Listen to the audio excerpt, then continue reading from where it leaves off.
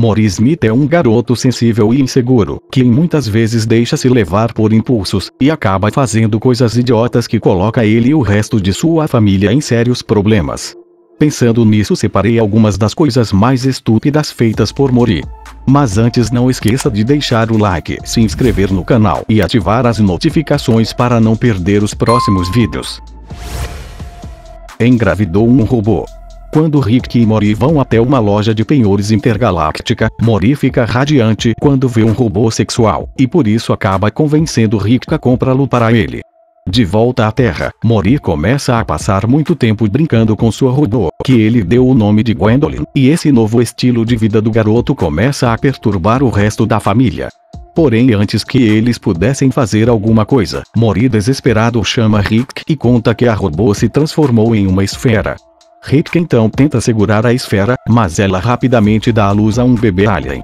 Depois de analisar o robô, Rick confirma que ela tinha a capacidade de reprodução, e que o bebê era metade Mori e metade alien, o que choca a todos.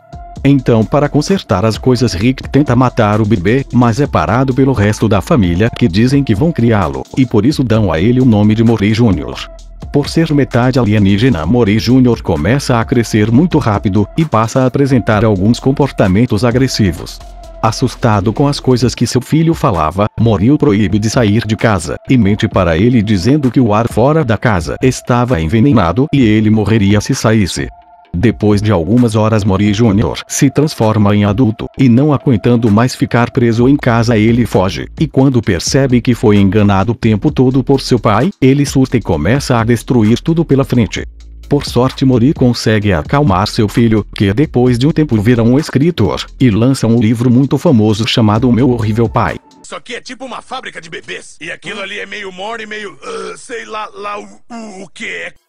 Achou que fazia o bem, depois que Rick vende uma arma de antimatéria para um assassino alienígena chamado Crumbopoulos Michael, só para conseguir dinheiro para passar uma tarde em um fliperama, Mori fica muito chateado com a decisão imoral de seu avô, e por isso decide ir atrás do assassino e pará-lo.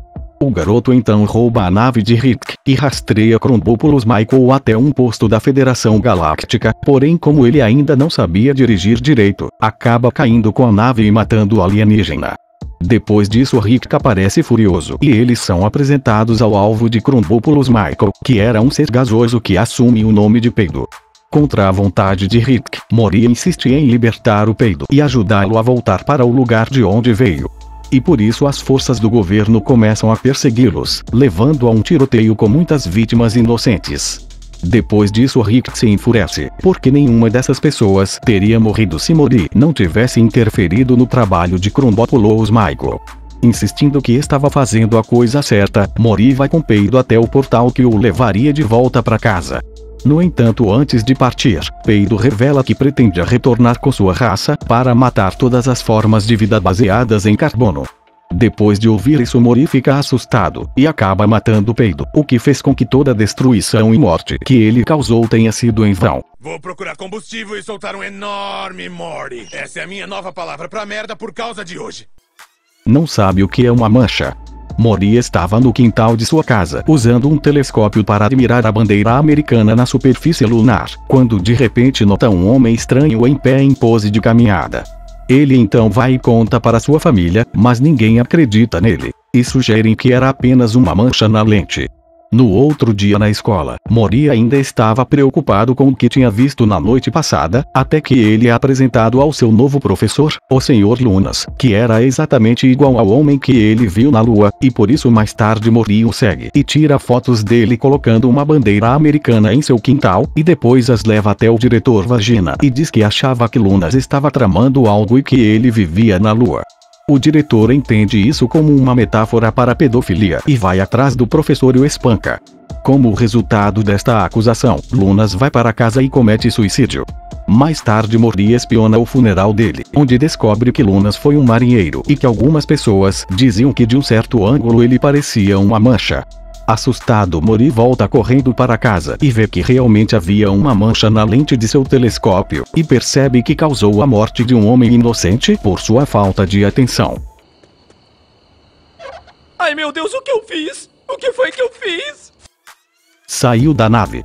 Rick e Mori estavam a caminho de uma aventura quando de alguma forma o pneu da nave fura no espaço. Rick então sai para trocar o pneu e manda Mori ficar dentro da nave porque era mais seguro. Porém, ignorando as ordens de seu avô, Mori sai da nave e acaba sendo picado por uma cobra astronauta. Mori então começa a inchar, e para salvá-lo Rick vai até o planeta natal da cobra, e faz uma varredura e cria um antídoto para o veneno, que cura Mori imediatamente.